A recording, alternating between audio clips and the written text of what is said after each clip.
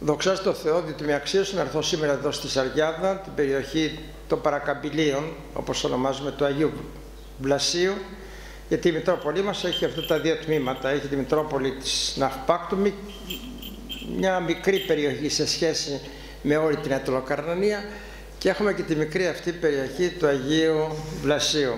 Και όπως ξέρετε δεν υπάρχει καμιά γεωγραφικά σχέση μεταξύ της Ναυπάκτου και του Αγίου Βλασίου, αλλά παρέμεινε έτσι.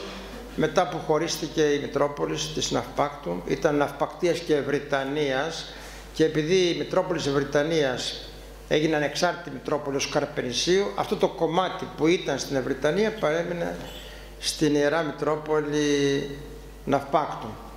Χαίρομαι διότι ήρθα σήμερα εδώ και είδα όλους εσάς, είδα τον Αντιδήμαρχο, είδα τον, τον αστυνομικό, τον αστυνόμο της περιοχής, τον πρόεδρο της κοινότητας, τον πρόεδρο του συλλόγου, όλους εσάς, τους ιερείς πρώτα-πρώτα, τον πατέρα Παναγιώτη, ο οποίος είναι και αρχαιατικός επίτροπος αυτής της περιοχής, τους άλλους δύο ιερείς, τον πατέρα Κωνσταντίνο, τον πατέρα Κωνσταντίνο, τους ψάλτες και όλους εσάς και να σας ευχηθώ να έχουμε καλή και ευλογημένη Σαρακοστή αυτή την περίοδο. Και όσοι μπορούμε να όλοι μπορούμε να προσευχηθούμε. Δεν μπορεί κανείς να πει ότι δεν μπορώ να προσευχηθώ και έστω και αν είναι και άρρωστος. Πολύ περισσότερο τότε που είναι άρρωστος. Αλλά όλοι μπορούμε να προσευχηθούμε και φυσικά και όσοι έχουν τη δυνατότητα, δεν έχουν κάποιο πρόβλημα υγείας, μπορούν να νηστεύσουν. Είμαι τόσα χρόνια μέσα στην Εκκλησία, δεν θυμάμαι ποτέ από τα μικρά μου χρόνια να μην νήστεψα αυτή την περίοδο. Δεν θυμάμαι. Από τα μικρά μου χρόνια, από τα πέντε ετών, από ό,τι άρχισα να θυμάμαι, τέσσερα ετών, η μάνα μας μας έβαζε εκεί να νηστεύουμε. Και νηστεύουμε όλη αυτή την περίοδο. Γι' αυτό τη θεωρώ πραγματικά ευλογημένη αυτή την περίοδο ότι μας δίνει τη δυνατότητα και με την νηστεία και λίγο και με την πείνα, να πεινάμε και λίγο, αυτό σημαίνει νηστεία. Όχι απλώς να νηστεύω και να τρώω άλλα φαγητά και να είμαι χορτάτος από άλλα φαγητά, σημαίνει ότι νηστεύω, τρώω λιγότερο και αν δείτε μέσα στα κείμενα των Αγίων Πατέρων θα δείτε ότι νηστεύω, τρώω λιγότερο, άρα ξοδεύω λιγότερα χρήματα και τα χρήματα που συγκεντρώνονται από την νηστεία τα δίνω στους φτωχούς. Έχει και αυτό το νόημα η νηστεία. Δηλαδή δεν καταναλώνει κανείς, όχι μόνο τροφές, δεν καταναλώνει και χρήματα, οπότε του μένει κάποιο απόθεμα για να κάνει νοημοσύνη.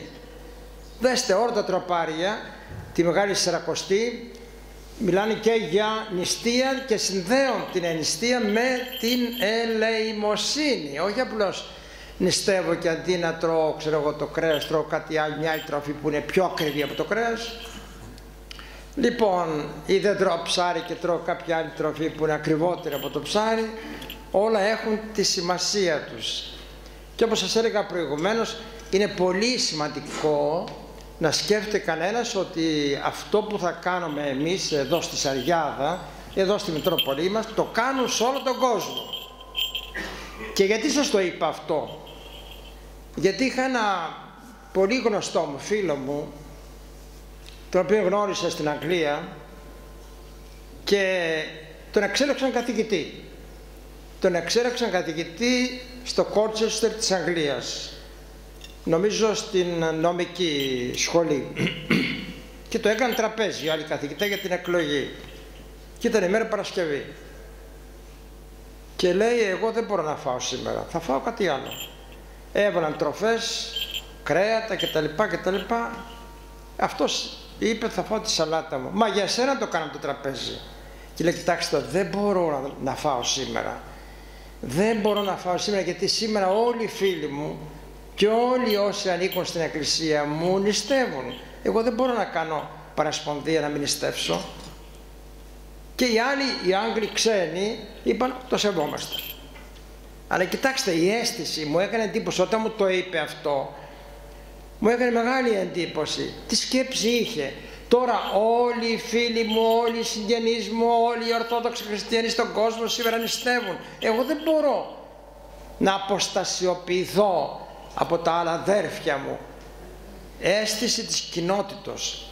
αίσθηση της ενότητος, ότι έχουμε ενότητα μεταξύ μας και όλοι πρέπει να κάνουμε αυτό που θέλει ο Χριστός και θέλουν και οι Άγιοι το καθορίζουν.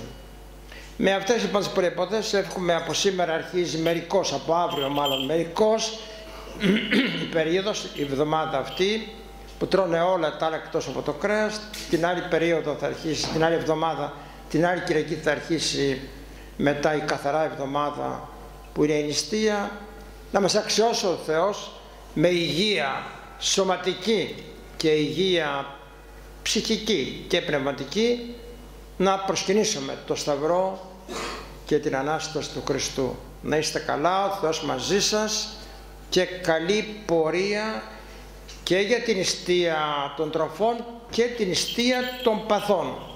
Ο Θεός να είναι πάντοτε μαζί μας. Διευχών των Αγίων Πατέρων ημών, Κύριε Ιησού Χριστέ ο Θεός ημών, ελέησον και σώσον ημών.